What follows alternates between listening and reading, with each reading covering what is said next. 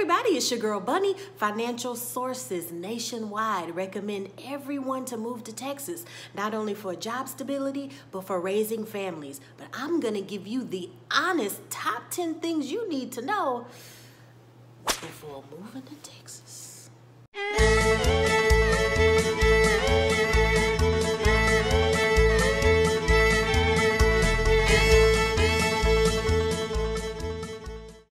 Number 10.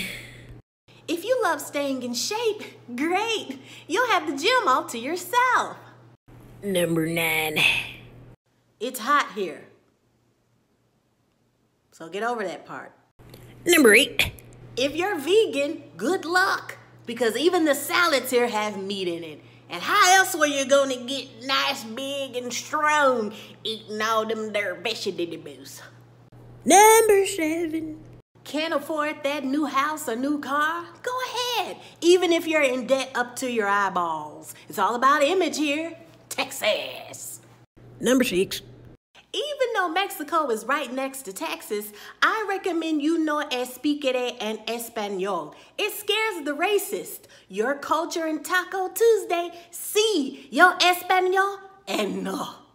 Number 5. Oh, I mean 5. If you're not from Texas, nobody cares about your team. So don't be surprised when your para is mysteriously missing from your car or office cubicle. Number 4.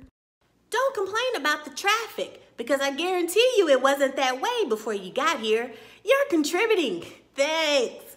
I suggest if you have to be at work at 8 a.m., you start your day at 3 just to get a head start. Are we almost done? number 3.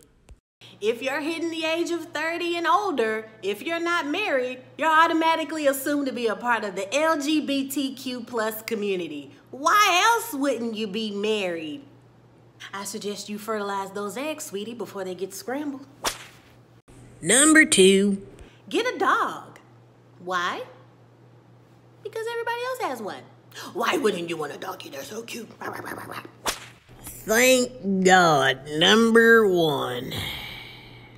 If you're driving and you need to get into the next lane, just do it.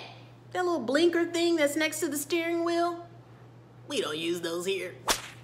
And that speed limit sign? All jokes aside, newbies, welcome to Texas. You done good.